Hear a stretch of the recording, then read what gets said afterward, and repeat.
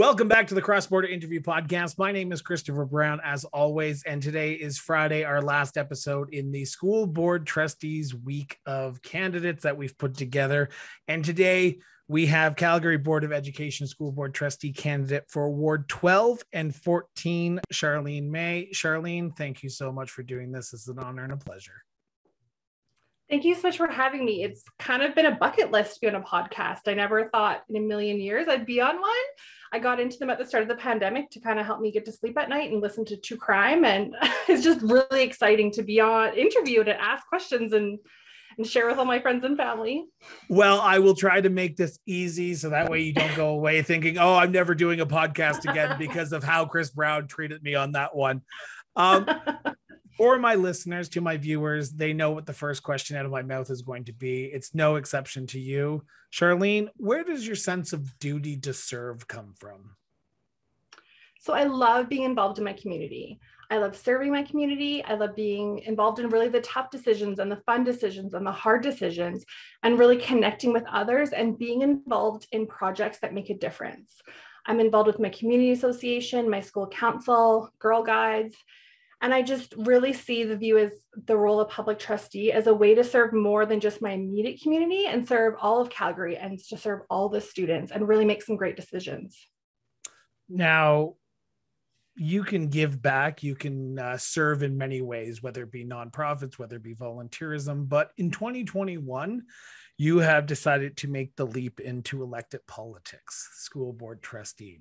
Before I ask you the known question, I've got to ask was politics was uh, getting involved uh, in elected politics uh, something that you were taught as a kid that you might want to do? Or are you or was it discussed at the family table dinner table? Or were you the oddball out and elected politics is sort of new to your family? Um, 100% new my family is not the politics family we're the we're the money family. So we talk about who makes what and who makes what decisions and what the interest rates are and how to be prepared for your future and how to get your car and that's kind of we've always it's always been on the edge but it's not never been a discussion. So um, my first real introduction to politics was just attending my community association our councilor comes or his assistant comes to the meeting or the MLA. And I've really discovered who makes what decisions and how they're being made. And so um, when I learned more about the school board trustee and how what their role is and how they're being done, I found that I wasn't being represented and I wasn't being consulted. And it just really made me want to get involved and make these decisions. So we'll we'll talk about some of the uh, what you're hearing at the doorstep, what you're hearing when you're talking to your neighbors, your constituents of Ward 12 and 14. But let let's talk about this election. You have decided 2021 was going to be the year that you've put your name forward, and that uh, a trustee May would be the best served in 2021. Why why now? Why why put your name forward now? Um so when the pandemic hit, I have two young kids. They were in kindergarten, grade one. We were homeschooling. I was, or not homeschooling. I shouldn't say homeschooling because I wasn't creating the program. I was helping my children do virtual learning, and it was a big learning curve. We had one computer, we're sharing it, and I really noticed that the kids were lacking that peer to peer interaction. I was really learning how connected they were to their teacher and what they were learning. And I really feel like the kids need to be in class. I really feel like we need to make decisions that are are just benefiting them all. And I feel like this is the year that I step up. I have the time to do it. I have the passion to do it. And I think that we really need someone who really wants to promote our public education system. Now you've literally taken the words out of my mouth for my next set of questions. Sorry. And that that no, which is good because I like when uh, candidates come prepared and they actually know what they want to talk about and are sort of prepared for what my questions are going to be. But I want to know COVID 19 has changed the name of the game around schools. Um, last year, we went to that in person, virtual, online school system. Like you said, there were kids who were suffering because they didn't have that peer to peer interaction. Uh, they didn't have that teacher interaction in person. Uh, I I know my family here in Calgary. After last year, they said, "I, I don't care. I'm sending my kids back." We are in the midst of a fourth wave, though the Calgary Board of Education is going to be uh, looking at how the fourth wave is going to affect school, affect the school year, and also affect the future. As the next school board trustee for Ward 12 and 14, how will you be able to help parents, help teachers, help kids move forward in an uncertain time around COVID 19? So the CBE made the decision to do mandatory masking in school, which I 100% agree with. We, I know we were excited with like the higher vaccination rates, but we have entire populations of elementary schools that are not vaccinated. We are higher than we ever were, and we're not contract tracing in schools. So we're sending our children in, and it's unknown. And we're getting this letter that says there was a case in there's a case in your class. Well, now what? They're still going to school. Are we, what are we doing? And I feel like the CB finally sent a letter to the Minister of Education and said, and the Minister of Health and said, like, we need more support. And that's what we need. We need the confidence to send our kids to school so they can be online learning. So we need to do at least the bare minimum of sending them in math and cohorting so that they can stay in class because no one wants to be home learning. It's really hard. And I think if we can mandate masks on public educate or in public buses, then we can also do it in classes. So I feel like the CBE needs to step up and make sure that we're continuing this the um, public health measures. But then I think we also need to be letting parents know like our cases are rising. We're thinking of doing A, B, C, and D. What are your thoughts? I think we need to communicate it more instead of it being the week before Easter break and oh, by the way, they're home for two more weeks. How do you manage that working? I think we need more advance notice, even in these uncertain times. Well, I, I, I love that you mentioned that because engagement, communications, talking to parents is one of the key things that a school board trustee has to do. Um, you will be uh, approached by many many many and i say many because you are representing two wards uh, parents who will always have the best interests of their kids at heart but at the end of the day, you will have to make the decision based on your best knowledge on what you're hearing at the door. And sometimes that might not be what the people of Ward 12 and 14 want. Because if you go ask 100 people, you're going to get 100 different opinions on one issue. So yes, how do yeah. you how do you how do you do that as a school board trustee?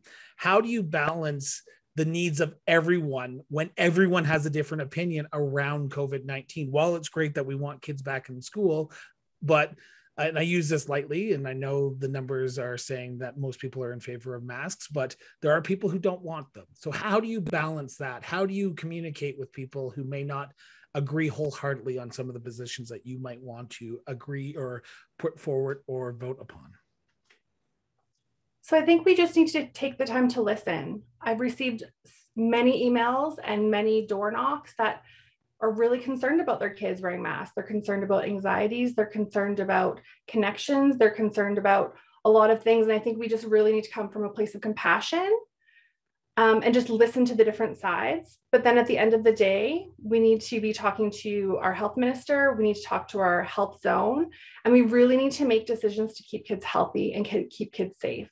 So, um, beyond just responding to a couple of emails, I think we really need to do a better job of engagement. I think we need to do a better job of getting parent council. Um, consultations and just parent consultations and just really getting a wide variety of of the pulse of not just Ward 12 and 14, but of all the other wards. Um, I want to take a moment and talk about what you're hearing at the door because as a candidate, I'm assuming you had an idea of what you might have might hear at the door when you're about to go door knock.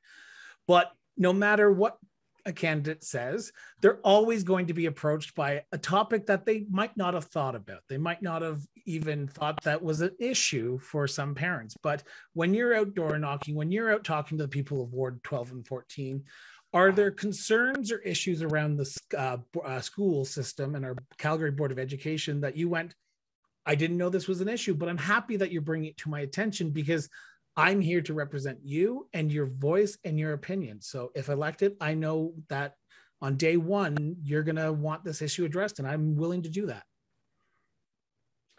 Um, so I was I was going into this campaign thinking people are going to really care about the budget. They're really to care about busing. They're really to care about school capacity. The number one issue is the curriculum. Number one. It doesn't matter if they're a parent or not.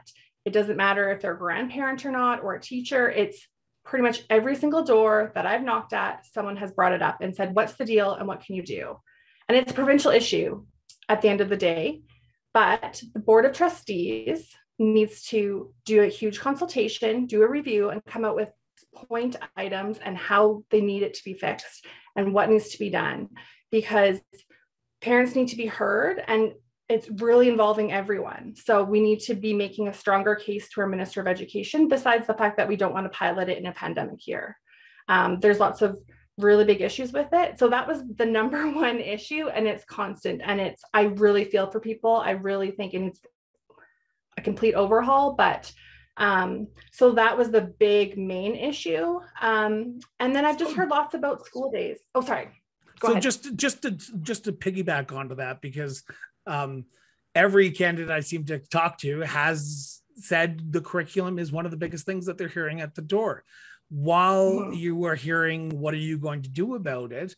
I've got to ask the follow up question because you can try to knock on as many doors as you possibly can during the selection. You might not get to them. So, the people of Ward 12 and 14 who are listening, who might say, I'm voting for the next school board trustee because of what their opinion and how they're going to help me with this curriculum what is your position on the provincial curriculum that was uh, introduced last year but also as the next school board trustee for ward 12 and 14 how will you work with the provincial government because at the end of the day if the provincial government says this is how it's going to be this is how it's going to be so how are you mm-hmm. going to work with parents who are against it but also how are you how do you view the proposed curriculum um, so I don't agree with the proposed curriculum. I don't agree. I don't think it was done with adequate consultation. I think it's age inappropriate. I think it dismisses call to action items from the reconciliation recommendations. Um, I our teachers don't support it at the end of the day, and so I've heard lots where we haven't been heard, and how are we going to do this? Where the resources coming from? So I think that the first thing the board needs to do is do a huge consultation, a huge review, and create a report that clearly states we've heard this, our educators hear this, and these are the action items that we think need to be changed. If they're going to be pushing it through, then we at least need to address A, B, C, and D so that we can have confidence and so that we can actually tailor programmings and learnings for teachers to be able to implement it instead of saying, here's your curriculum, enjoy the next year before I rudely interrupted you, and I do apologize for that. Um, you were you were you were talking about school days. You were about to mention something about school days. I just want to let you finish that uh, topic before we continue on with this line of questioning as well. Not about the curriculum, but about a few other things that you're hearing at the door. So, what were you talking about school days for?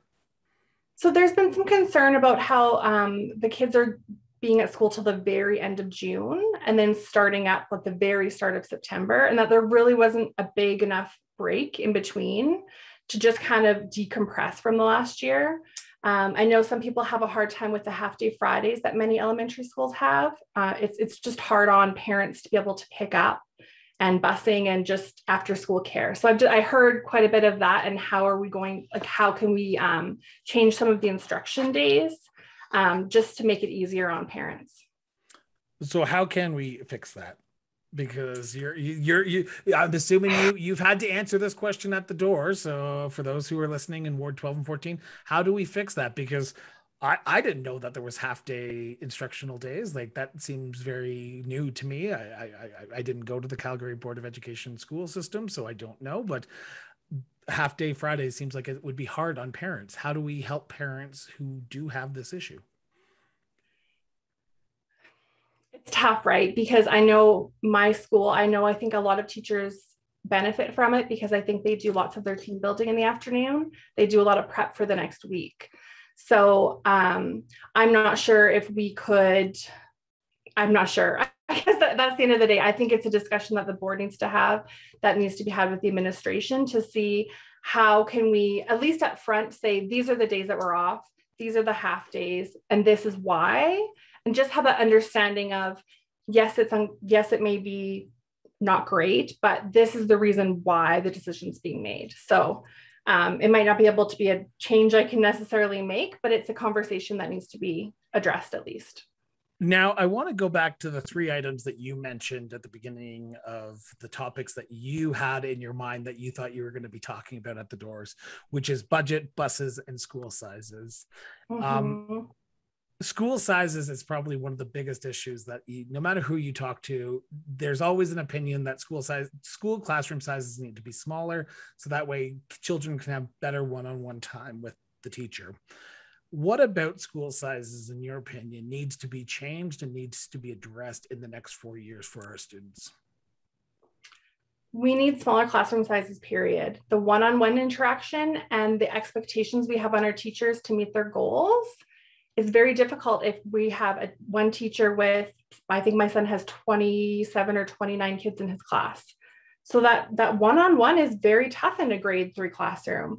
And um, you know we expect our teachers to communicate and to do all these great things but we need to allow them to the time to do it. So having educational assistants in having them what our school has a dedicated gym and music teacher and that helps them to experience different teachers. Um, and beyond that, I mean, our high schools are full, they're overutilized.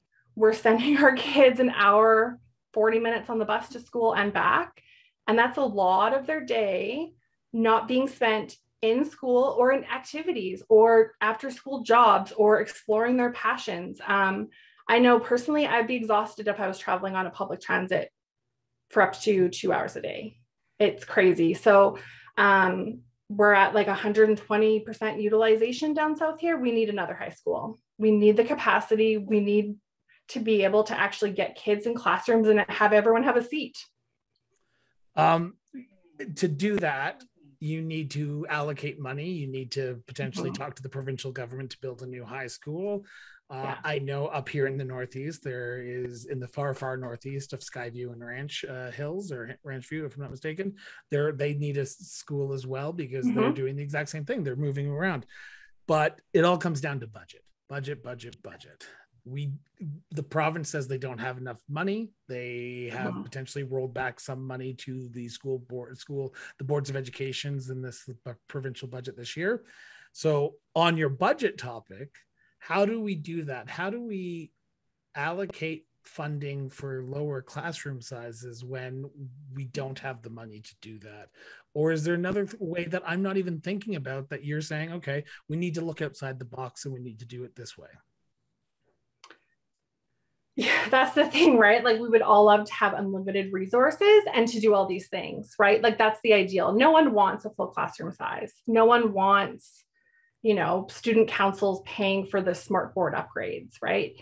So I think we need to just really take a really hard look at the budget and see what do we really need and what do we not need and what can we downsize on and how can we support the decisions for smaller classroom sizes. I don't think it's an easy cut this line item off, but I think it's it's going to be a work in progress and just really working at making it equitable and so that everyone has a fair chance at a great education system. So it's um it's not an easy fix and I think if it was we wouldn't be talking about it. It would just be done. So I'm willing to work, I'm willing to learn, I'm willing to just make all those conversations because I can't make a big promise that I'm going to do do this because I'm one of seven. Yeah. Um and I, I just really want what's best for for everyone overall. No, understandable. Um, I, I want to ask about buses because you were the first school board trustee that I've talked to that has brought up the issue around buses, and I, I, I want to know what you what you had in your, in your mind when you started to run around busing and why this was going to be a potential issue you were going to hear at the door. So it was a huge issue um, in 2017. They moved a lot of the bus stops, and kids were walking really far distances. Um, they did address that and kind of have more centralized locations and more accessibility. But I think it was last year the bus fees went because we got less funding, they increased bus fees like two times the regular rate. And people were paying a lot for busing. Um, I can pull up, I'll have to pull up the actual number, but it was it was significantly high. And so parents were paying a lot for busing and really deciding are we actually doing busing this year? Not doing busing, and is busing affordable for us to get to school? Um, and then halfway through the school year, they realized, oh, we have all this surplus because they weren't in school, and so here's like, it was, it was a lot of money that they gave back to parents, and so I think it's just when we're looking at the budget, what do we, what is the actual cost, and what are the other solutions? Are there certain schools that need certain buses? Can we I don't know. I just it's it's been a cons- consistent issue, and I think when you're paying to get your kid to school, it it maybe makes public school not look all that great because you know you expect to just send your kid off to school. So. I I I I've always found it hard to believe that parents have to pay to bus their kids to school but that is that is my own unpopular opinion. I think we should get rid of them. I think busing should be free for kids but that's here nor there. Um on your website charlenemay2021.com and for my listeners and to my viewers the links to charlene's social media pages and website are in the show notes like every other uh, interview i've done. I want to talk about accountability because it is one of the key areas that you talk about on your website. And I'm going to quote the website and I want to get your reaction of what you mean by this. As a public, to begin quote, as a public school trustee, I will bring your concerns, i.e., the draft curriculum, to the table. Trustees are responsible to lead, serve, and represent Calgarians and the CBE. This is achieved by listening, attending all meetings, and being accessible. Um, there's a lot to unpack there, but let's start with this. Why is this a key priority for you? Our current trustee is not accessible. He missed a lot of his meetings his first term. And I don't think some of the decisions were made in the best interest. I've been on parent council for four years. I've never seen him come. I've never seen an email from him that says, hey, this is what's going on. You should get involved with X, Y, and Z. And as someone who attends my community association and has my elected representative at least send information every month to go four years and not know who he is or what he does. And when I look up or try to contact, it's very limited. It's disheartening. Um, so how do you how do you change that? How how does a trustee may change that? How does a trustee may become more accountable to the people of Ward 12 and 14? By attending the meetings, I'm going to come to parent council meetings. I want to know when they are, how often you meet, when you'd like to meet me, and what you what would you like to hear. I'll send information. If we make a big decision, I think your trustee should be posting it. Um, I think we've gone beyond just emails. I think people are active on Facebook and Instagram and Twitter, and we need to send send out reports and send out consultations beyond just an, an email that might go to your spam box, or if your parent council only has eight to 10 members, only reaching a very tiny minority of the parents of all the students. And so I think we need to find new ways to connect. Um, I, I I'm gonna play devil's advocate for a 2nd mm-hmm. because I like I, I like playing devil's advocate here. Yeah. Communications is a double-edged sword. Mm-hmm. You can communicate till you're blue in the face. You can communicate with social media, emails, go into those meetings, but there will be that one person who always says, "Well, I didn't get it." So mm-hmm. how do you how do you be accountable to everyone where in today's society we are the most connected we have ever been in the in in our lifetime in the world's history. But there are still going to be people out there who just don't want to hear it or don't believe that you have done your job being accountable. So how do you do it? How do you balance that approach of communicating communicating communicating but people not getting it still that's the thing right? Like you're never going to meet 100% of people there right? Um, but my goal is to have the best interest of our students and try my best to represent parents. And so i'm going to be there. I'm going to listen. I'm going to have the tough conversations and that they may not like my answer and that's okay but i want them to feel heard. And because we all live at different realms and we all view things differently and we just really need to have that connection um, and I think I think it's just trying to be there and I'm not going to appease everyone. It's it's impossible, but my goal is to make policies that are the best for as many people as I possibly can.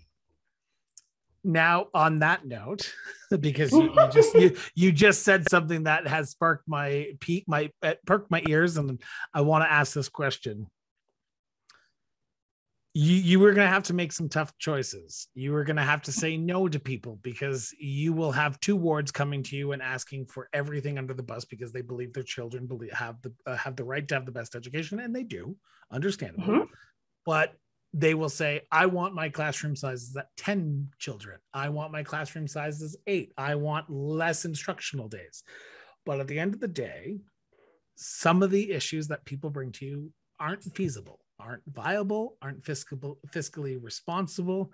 How do you balance that? Because I, I, I have known politicians to promise everything under the sky and it does not end well for them. So how do you say no? And how do you still talk to people in an age where if politicians say no, they're gonna just people are gonna walk away and say, well, I, I'm never going to get anything from that person ever again. So I'm never going to approach them. How do you strike that balance? And how do you be cordial and respectful to people who may not who may not agree with how you are doing your job, but also how you're bringing forward issues to the table? So that's why I have goals, right? I'm not I'm not promising X, Y, and Z. I can't promise 10 kids in a classroom. I can't promise 20 kids in a classroom. I can promise that I'm going to do the best to set the budgets. Um, and trustees can't really get too involved with the day to day operations. So we can set out the budget, we can send out the weighted moving average and the RAMs to all the different schools. Um, the principals from there allocate resources internally as well. So we can set a policy that says, you know, we'd really like to make sure that this percentage gets allocated to this. And I think we can have this conversation. I think we need to balance things. I think we need to look at even what the Catholic school is doing and Edmonton Public School and how are they serving their students differently than we are. I think we just need to, I think we just need to listen. We need to find out what their goals are and why. Like, why is this important to them? And is it important to more people? And we just don't hear from it because everything else is going well. And not everyone emails, right? Like most people get involved when there's an issue, right? It's, I have A, B, C, and D. A is really important to me, and B is kind of important, but B is important to everyone. But it's just not, it's not getting them out to actually voice that opinion. So I think it's just trying to be open and realizing that there's always room for growth. And we're always moving towards the goal of a great public education system. Um, we're we're literally an hour and a half hour into this interview already. I, I was going to say an Sorry. hour, but half half hour in, into this interview, and I want to turn to your role as the next school board trustee for Ward 12 and 14. We've talked about policy, we've talked about priorities, um, but your role. Um, on October 19th, you wake up and you are elected the next school board trustee for Ward 12 and 14. What is priority number one for you? Priority number one is team building with the board. We are seven different voices elected in seven different um, areas, and we need to get together and find a way to communicate with each other, to connect with each other, to grow with each other. And that's number one. I want us to be a unified front. I want us to work through differences. I want us to constantly pushing each other for greatness. Um, step number two is I want to get the consultation process going um, with all our stakeholders, with the draft curriculum, with um, public health measures, with just governance and guidance, and trying to get us on the same page and just moving forward. And then I really want to start getting into my wards. I want to meet the parent councils. I want to learn about the concerns and just really be able to be a strong advocate for my community. Sorry, now, that's more than one thing. no, hey, I, I, like ambitious people because we need ambitious people in politics, and I appreciate that. Um, I, I, I do want to jump into this though. You talked about goals. I, mm-hmm. I, I, as a small business owner myself, I know you need to put goals in place. I call them metrics, but metrics and goals in place to ensure you are successful, to ensure that you are doing what you've set out to do. So let's talk about 2022 in October, October 2022. What would be a successful year for you, and what goals are you going to put in place if you are elected on October 18th to ensure that you can go back to the people of Ward 12 and 14 and say, I have accomplished X, Y, and Z, or I have started X, Y, and Z to help move the CBE forward, but also to ensure that your voices are heard at that table. What goals are you putting in place for yourself to ensure that you are successful in your first year? So, my first goal is to make sure that I've reached out to every single parent council and that I've set a goal to at least meet them virtually, meet them in person, or to at least send out um, a consult with them as to what they feel needs to be done. Um, and I would really like the CBE to have a strong consultation and report about our draft curriculum. I think it's very important that we set out as a board what our thoughts are, as other divisions have done. And they've clearly stated we've heard X, Y, and Z. We're concerned about X, Y, and Z. And, and this is how, if this is or when, because it's as we're right now, it's a when it's being implemented, that our teachers are supported and ready to go. So that's my, those are my two really big things in the, right away. Awesome. Um, I, I love the next question that I'm about to ask, and I usually ask it at the end, but I'm going to ask it now because you, you seem like you're ready for this question. you know, you are one vote. At the end mm-hmm. of the mm-hmm. day, you are one vote. You talk about team building. That's great. Everyone wants team building, but at the end of the day, you are one vote. You are there to represent the people of Ward 12 and 14 at the Calgary Board of Education. But at the end of the day, you are also there to represent the Calgary Board of Education. You are there mm-hmm. to represent all people of Calgary who send their kids to uh, public education, uh, public, the Calgary Board of Education. Sometimes that means Ward 12 and 14 might not get their fair share of the pie. Sometimes that means you will have to go back to your constituents and say, I, I, I advocated, I, I asked, but this area was more in need of this funding, and we will be looking at our area next time. Mm-hmm. We, we talk about that accountability. As the next school board trustee for Ward 12 and 14, accountability is going to be a big thing. How do you talk to your constituents and say, I, I'm trying to get the best for our city, for our wards, I mean, but at the end of the day, we have to look at a bigger picture. That's the thing, right? Like we're a huge board. We're the biggest board in Alberta.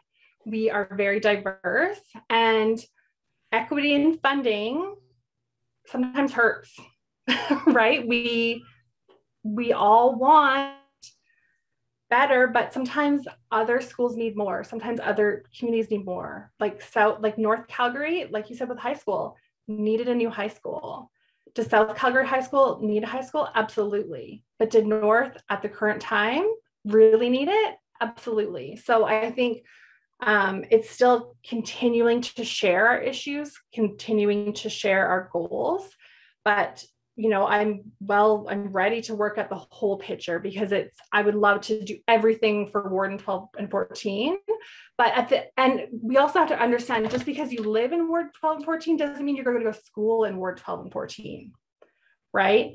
Your school your child may be going to a school in a, in a different ward. And so yeah. i need to work with bordering wards to make sure that all of cbe is rep- is represented. So it's it's not just i'm not in this little bordered bubble. We bus kids out kids get bussed in um, especially if you're doing like dual language or um, the advanced programs like you're going to be going to a different school. And so i can't just can't just be this nice little border of i'm only representing these opinions. We need to work together and and just really collaborate. Awesome. I love it. I love it. I love it. Thank you for answering that question. Um, now in order to get to October 19th, in order to get to October 2022, you have to be elected on October 20th or October 8th. October 18th. Sorry, I've written it down. There's too many numbers I know right now. too many elections, too many elections in the last few days. Um, I want to ask the question talk to the people of Ward 12 and 14. Why should you be their representative in the next for the next four years at the Calgary Board of Education for the wards of 12 and 14? Go ahead whenever you're ready. So I believe in public education. I believe in public schools. I believe in our teachers and students, administration, and I believe that we have to be constantly moving forward and doing what's best for our children. We need to make the tough decisions. We need to ask for more funding. We need to just really band together and just make a really good public education system. I feel like I'm the best for that job. I'm ready to work, I'm ready to listen, and I'm just really ready to just get involved and make these amazing um, goals happen and just really promote the CBE and have this sense of I'm so excited that my kids' public school did X, Y, and Z and just be really proud of it. Now, I guarantee you, because I've I've gotten comments like this, that there is one person listening to their car radio, listening to this podcast on the Deerfoot right now, yelling at their radio saying, Why didn't you ask this question? There's probably someone on YouTube saying the exact same thing. Why didn't you ask this question? While I can try to ask as many questions as I possibly can in the time that we are given to with each other, how can people reach out? How can people learn more? How can people ask you a direct question about their concerns because like i said at the beginning you could probably try and your hardest to knock on as all the doors as possible but it you're one person and you're only one person. So how can people get involved? How can people reach out and ask you the question that's on their mind for ward 12 and 14 so my website is charlenemay2021.com um, i'm also on facebook i'm on instagram i'm on twitter. Um, email me and i'm the one who answers it um, I I'm not well, I'm, i say I'm on Twitter. I'm not huge on many of these platforms. I'm dipping my toe in. I'm not um I find that there's lots of news on there and I've tried to kind of increase my availability. Um so if you send me an email or send me a Facebook message, I'm the one What's who's your answering. Email? Uh it's um Charlene May. what at Charlene May 2021 at gmail.com. I don't know why I drew a blank there. Um, for you my listeners, and, for that's that's the hardest question I've had to ask all day. for my listeners and to my viewers, I've got to say, uh, Charlene's link links to Charlene's website, Facebook, Instagram, Twitter, uh, and email address are in the show notes. So for those who are listening audio version, it's in the show notes. So go back to the main page and click on the show notes. And then for my YouTube, literally scroll down after the interview. It's right there. It, you can't miss it. Um, Charlene, uh, I, I, I say this to a lot of people and I mean it sincerely. And I'm going to say it to you because we need more people like you in politics. We need more people like you who are sincere, honest, and are doing it for the right reasons. We have a lot of people in this election who are not doing it for the right reasons, and I find that you are. Um, I, I would highly recommend the people of Ward 12 and 14 to educate yourself in this election. Find the person that represents your values and your morals and vote for them. Advance voting is from the 4th to the 10th, and then on election day on October 18th. Charlene, thank you. Thank you, thank you, thank you. Thank you very much. It's been um, so good. Uh, and then, uh, like I said, and I'm going to say this one last time uh, because I'm beating a dead horse at the end of the day. If you do not vote, you do not get to complain. Go in and vote. Vote, vote, vote, vote, vote. It's not that hard. Literally take an hour out of your day, hour and a half, depending on lineups because of COVID 19, and get out and vote. I do not want to see you complaining on social media for the next four years that your voice isn't heard if you do not vote. So go out and vote. Uh, we will be back tomorrow with another episode of the Cross Border Interview Podcast. Charlene, thank you so much. Thank you.